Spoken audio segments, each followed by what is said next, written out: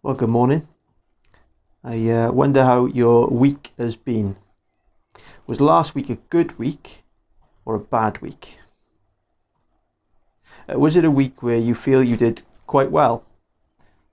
Uh, or was it a week where you know you messed up? You know, sometimes we have good weeks, don't we? And then we maybe um, come to God quite confidently. Or maybe we forget to come to Him at all because we don't feel we need Him. And then sometimes we have bad weeks uh, where we come to God and we say, I just, I promise next week I'll do better. Or maybe in shame we feel we can't come to Him at all. Well, I want to say this morning that whether you've had a good week or a bad week, Jesus Christ is full of compassion towards you. The Gospels tell us of a number of times when Jesus saw uh, big crowds of people and he said they were lost and helpless. They were like sheep without a shepherd, uh, no one to guide them and protect them. A big crowd, they'd all had different experiences, perhaps different weeks leading up to that point. Some may have had so called good weeks, others may have had uh, bad weeks. The fact is, all of them are in the same boat. They don't know what to do with their lives. They don't know how to uh, live for God. Like sheep without a shepherd.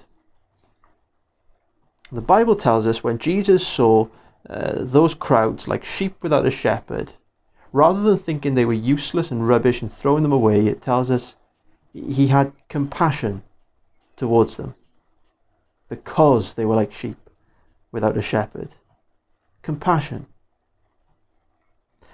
And however your week has been, whether you feel you've done well or you've properly messed up, Jesus Christ still has a heart full of compassion. So the Bible tells us, and we'll look into this in a few weeks' time in uh, our series on Moses, but in Romans 9, um, it tells us that God said to Moses, I will have mercy on whom I have mercy, and I will have compassion on whom I have compassion. You can look at that from two directions. One is to say uh, that God chooses who he will show mercy to. And so, Paul tells us, it depends then not on human will or exertion, but on God who has mercy. God will show mercy. There's nothing you could do to uh, earn it or drive him to do it. But deep within his own heart, he's merciful and shows compassion. But it also works the other way, where we can say that if God has chosen to set his love on us, to show us mercy and compassion, then he will do it. I will have mercy on whom I will have mercy. I will show compassion to those to whom I will show compassion.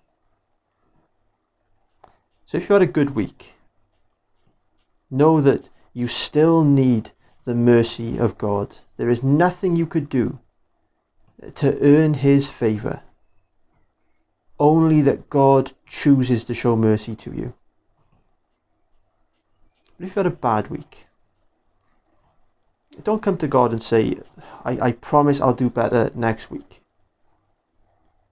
Just come to Him and say, I know I need help. Please have mercy.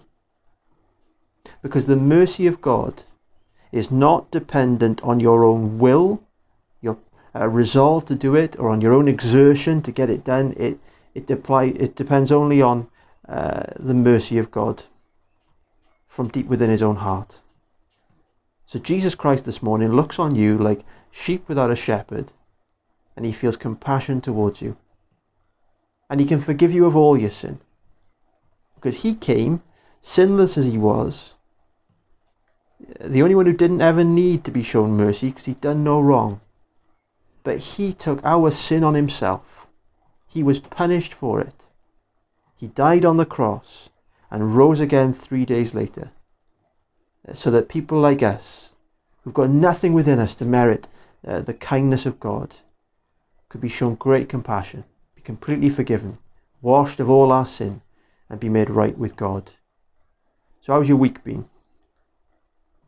However, it's been, uh, know that God shows mercy if only you would call out and ask Him.